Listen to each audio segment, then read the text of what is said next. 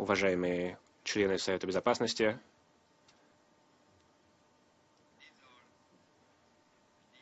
поистине это мрачные дни, как сказал генеральный секретарь, для Сирии и для населения Алеппо в частности.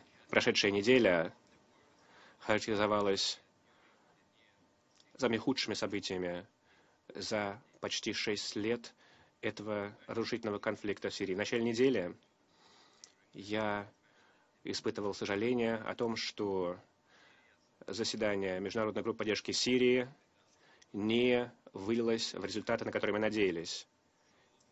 И итоги были поставлены э, под вопрос, а э, соглашение между двумя сопредседателями, в которое мы по-прежнему верим, от 9 сентября в Женеве, это также было поставлено под вопрос.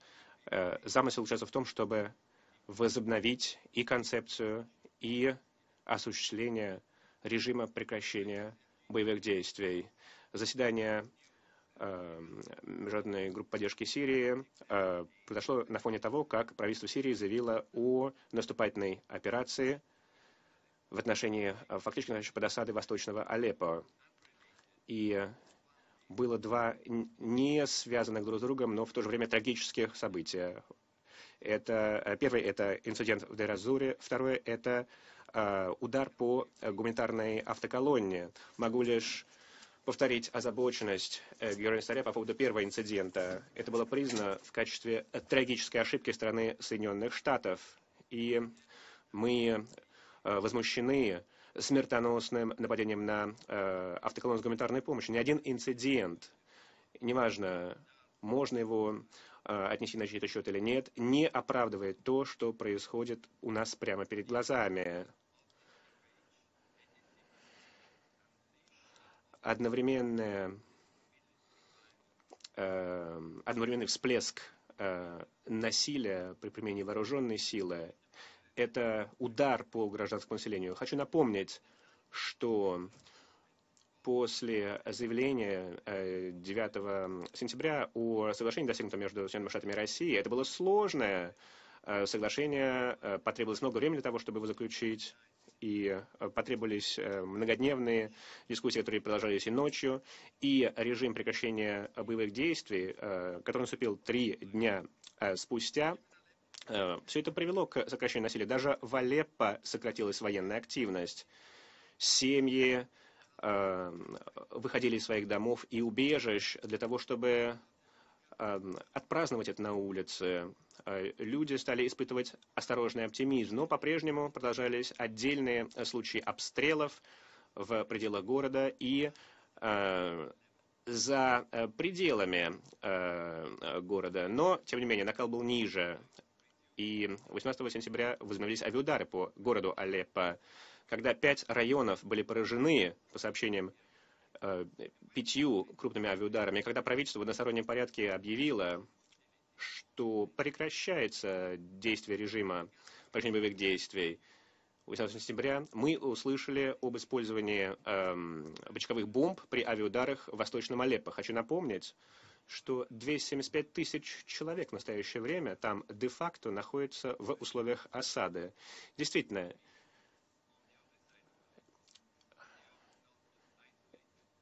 есть и что за пределами Алеппо, но они не изолированы, как в Восточном Алеппо. Э, через несколько минут после объявления э, правительства наши сотрудники, которые находились в Алеппо, они находились там, поскольку мы их э, направили туда для того, чтобы помочь Э, с сопровождением э, грузовиков, которые из Турции по дороге Костелло должны были дойти до э, Восточного Алеппо. Они слышали звуки артиллерийских и авиаобстрелов по Алеппо. Как сказал генеральный секретарь в Совете тогда же, 19 сентября вечером, были ужасающие нападения на гуманитарную автоколонну в Орем-Аль-Кубру, 20 гуманитарных работников сирийских погибли и водители, включая руководителя группы, 18 из 31 э, грузовика, которые были четко помечены, были, были уничтожены. Мы решительно осуждаем а, этот удар, так же, как и многие члены Совета Безопасности. Мы выражали соболезнования и требовали расследования, и виновные в таких деяниях должны быть привлечены к ответственности. С того трагического дня ситуация в Алеппо ухудшается, и новые ужасы имеют место в пятницу имели место авиаудары после объявления о начале наступательной операции правительства. Это, было сделано, это объявление было сделано самим правительством. И э, население в Восточном Алеппо не могло даже слышать пятничную молитву. По имеющимся данным, э, эти удары Э, имели место в пятницу и субботу. А, они совершались по жилым эм, постройкам в Восточном Алеппо. В результате э, десятки гражданских лиц э, погибли, были ранены, включая многих детей. Эм, медики были поражены и были не способны отреагировать на множество событий. Из четырех центров Э, золотых, белых касок э, в Алеппо были также э, поражены. Количество жертв увеличивается, и медицинские работники пытаются извлечь людей из-под руин. Даже если удалось смягчить отдельные определенные страдания гражданского населения, тем не менее совершались удары и по пунктам воинской обороны. В силу авиаударов э, вот какие у нас есть цифры с пятницы. Это 213 погибших в Алеппо, в провинции Алеппо, 139 погибших в Восточном Алеппо, 74 погибших в э, провинции Алеппо, включая десятки женщин и детей. Сколько авиаударов было?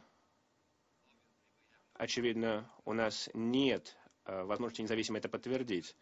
Но источники на местах говорят нам, что у них больше нет возможности их считать, учитывая хаос в городе Алеппо и учитывая то, что это происходит ночью и э, при э, новой интенси, интенсивности. Это будет понятно и по количеству, и по масштабу и по типу бомбардировок. Были сообщения, э, были видеофрагменты, фотографии об использовании зажигательных бомб,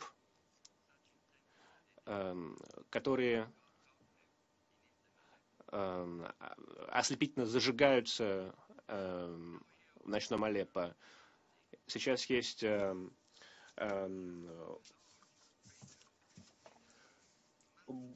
противобункерные бомбы, которые э, являются намного более мощными, чем э, предыдущие бомбы. Если это, эти сообщения будут подтверждены, то такие систематические и неизбирательное использование такого оружия в районах, где присутствует гражданская инфраструктура и проживает гражданское население, это может быть тождественно военному преступлению. Гражданское население во всем городе должно задаться вопросом, а где они могут находиться в безопасности в этом городе Мученики. Мы также э, слышали, как э, группа вооруженной оппозиции э, использует ракеты, начиненные газом. Это, по сути, канистр, начиненный газом, с, э,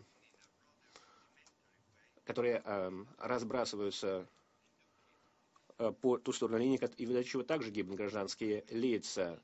Э, один такой удар поразил школу Амади в район Мадии 22 сентября. 19 сентября район в э, восточном, в, в западном Алеппо, э, кстати, погиб, э, погибло одно гражданское лицо. Имеются сообщения о том, что медицинский центр также подвергаются ударам, включая сообщения об ударе на карету скорой помощи в Э, юго-западном эм, Алеппо, в результате чего погибли и медики вновь. Улицы переполнены огромными эм, кусками э, руин. Кареты скорой помощи даже не могут проехать э, теперь по улицам. Мы уже говорили в начале. 275 тысяч человек. Они не могут быть все террористами. В Восточном Алеппо, по сути, находятся в условиях осады почти 20 дней. После закрытия коридора и после того, как э, дорога Костелло была э, заблокирована 8 июля, после этого закрытия гуманитарная ситуация э, обретает еще худшее измерение. По сути, запасы истощаются, э, Всемирная продовольственная программа, которая имеет свои запасы в Восточном Алеппо, это только 12 тысяч э, пайков. Это означает, что это достаточно буквально для 60 тысяч э, людей из 275 тысяч. И нет никаких перспектив пополнения этих запасов, поскольку две дороги заблокированы. Хлеб доступен только три дня в неделю. Поражаются также и пекарни. Нет достаточно топлива для населения. Это сокращает доступность транспорта. И недостаточно топлива также для Эм, бытовых нужд, включая приготовление пищи. Направление автоколонны Восточной э, Алеппо э, становится трудным э, после возобновления боевых действий. И 40 автоколонн в 5 часов утра, они готовы уже отправиться к нуждающимся вместе с продовольствием, с полноценным пайком для 35 тысяч человек. И еще э, мука, для, для, которая может обслужить э, потребности 175 тысяч из 275 тысяч. Э, но автоколонна не сдвигается с места, поскольку нет никаких достаточных гарантий с любой стороны, должен сказать. И режим прекращения боевых действий сломлен. У нас э, аргументы от э, правительству какие-то странные поступают, вдруг они озаботились о водительских удостоверениях, а оппозиция также предлагает странные аргументы и устанавливает э, невозможные условия с тем, чтобы мы получили гарантии. Кроме того, э, обе стороны э, не хотят, чтобы сдвинулся с места этот конвой. У двух миллионов людей нет теперь доступа к питьевой воде две э, насосные станции, которые обслуживают население и восточного, и западного Алеппо. 22 сентября насосная станция Монараб, которая обслуживает восточную часть города, по сообщениям, была поражена авиаударом. Джейш Аль-Фатах в качестве акции возмездия отключил воду для полутора миллионов э, жителей в западной части города. То есть просто нет воды. Это логика око за око. И потихоньку э, э, доставка воды э, восстанавливается после трудных переговоров, провел, провел ЮНИСЕФ. Однако жители Аляпа по-прежнему сталкиваются с трудностями из-за перерывов в водоснабжении. Вода также значительно загрязнена из-за конфликта, и особо уязвимые категории населения, чаще всего дети, страдают от эпидемии заболеваний, которые переносятся водой. Подобные заболевания – это последнее, что нужно в такой момент. С гуманитарной точки зрения, что еще происходит? Мы хотели бы что попросить у Совета Безопасности? Во-первых, потребовать прекращения насилия и обеспечения эм, защиты гражданского населения, гражданской инфраструктуры. Второе необходимы э, паузы в 48 часов боевых действий для того, чтобы э, ООН и ее партнеры были в состоянии э, попасть э, в э, Восточное Алеппо без предварительных условий ни со стороны правительства, ни со стороны оппозиции. И третье, необходимо требовать э, проведения медицинской эвакуации. Есть несколько таких случаев, э, в крайних случаях, которые имеют место в Восточном Алеппо сейчас. Сейчас, господин председа... госпожа председатель, возвращаюсь к оперативной военной обстановке. Э, несколько сообщений имеется. И правительство объявило о готовности захватить весь город Алеппо. Вскоре после соглашения 9 сентября, сразу после этого, соглашение было объявлено в Женеве 9 сентября, ближе к полуночи, между Россией и Соединенными Штатами. И президент Асад побывал э, э, увидел э, сам то, что осталось от Арема, и он заявил о своей готовности освободить каждый квадратный дюйм Сирии. И таким образом правительственные и проправительственные силы заявляют о том, что они Э, я цитирую, э, намерены э, искоренить террористов, искоренить террористов без жертв среди гражданского населения. Конец цитаты.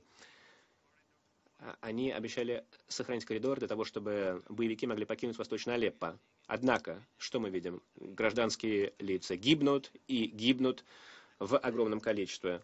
В последние дни а, были э, крупные боестолкновения на нескольких линиях в Ракель-Саиде, э, в Старом Алеппо, Рамусе и Хамадии.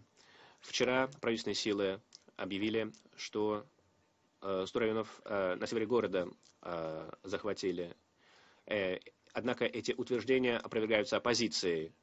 В любом случае имели место Э, кровопролитные боестолкновения. Есть противоречивые сообщения от оппозиции э, в отношении эм, эм, отдельных э, наступательных операций Шхада Нусры и других формирований.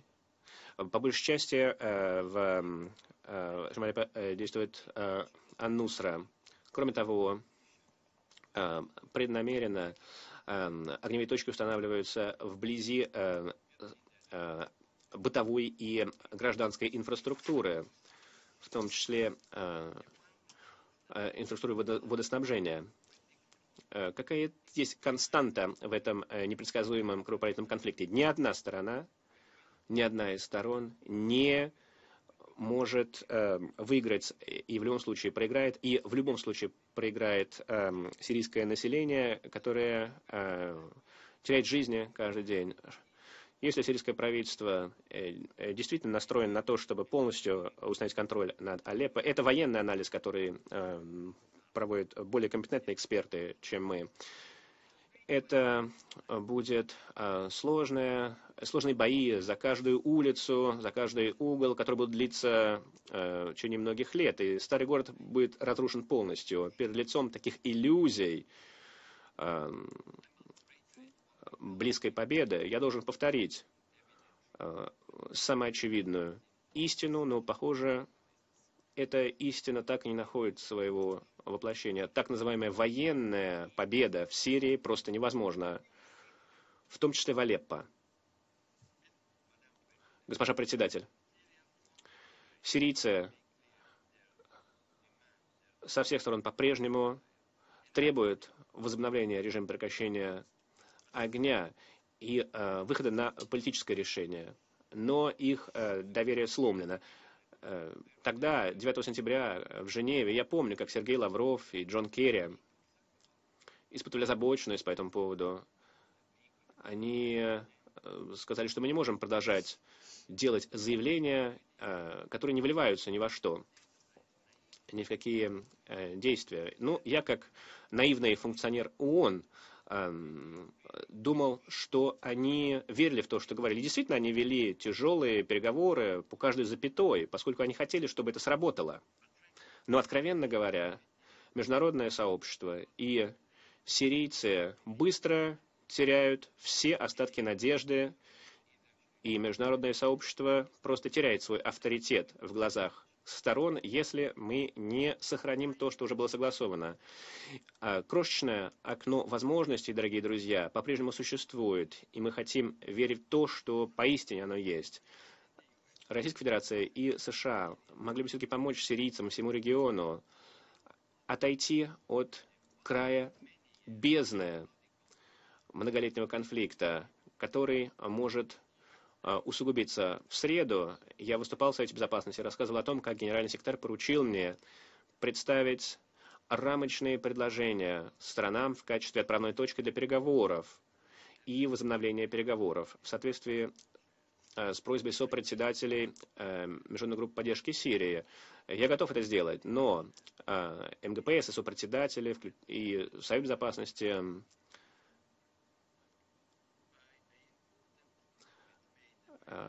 важный, важное замечание в четверг в МПС сделал министр дел Китая. Он сказал, Совет Безопасности несет ответственность за то, чтобы обеспечить возобновление режима прекращения боевых действий без промедления и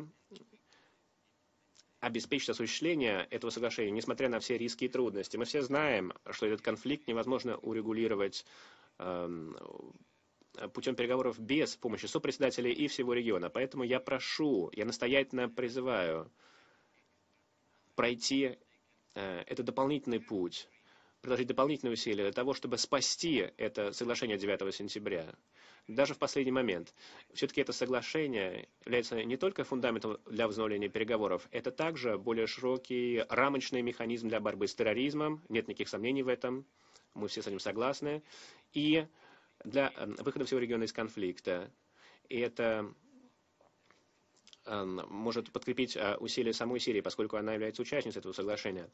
Я призываю стороны все-таки разработать э, общий курс действий для того, чтобы обеспечить э, действие режима прекращения боевых действий в Сирии. Я по-прежнему убежден в том, что мы можем обратить вспять этот ход событий. Мы это доказывали неоднократно. Мы уже продвинулись далеко вперед, и мы не можем допустить краха таких небольших достижений под руинами Валеппо.